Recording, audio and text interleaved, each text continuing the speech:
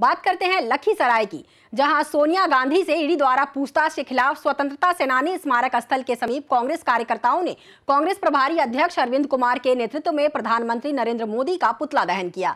इस दौरान कार्यकर्ताओं ने केंद्र सरकार के खिलाफ जमकर नारेबाजी भी की।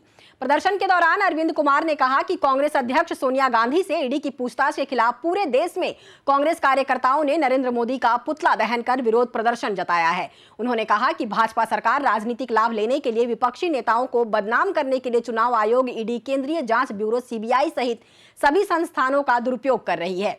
लेकिन मोदी के नेतृत्व वाली भाजपा सरकार कांग्रेस कार्यकर्ताओं को नहीं रोक सकती। इस दौरान काफ़ी संख्या में कांग्रेस कार्यकर्ता मौजूद रहे।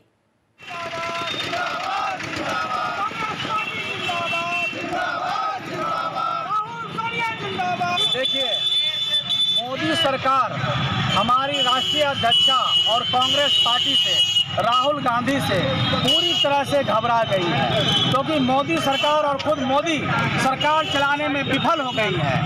क्योंकि आज महँगाई, आप ही बताइए, आज महँगाई चरम पर है।